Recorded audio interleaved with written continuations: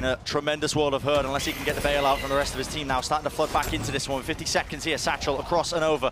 Aspas just faking with the movement. Has a shorty in your hand, something, but still with the rifle fire.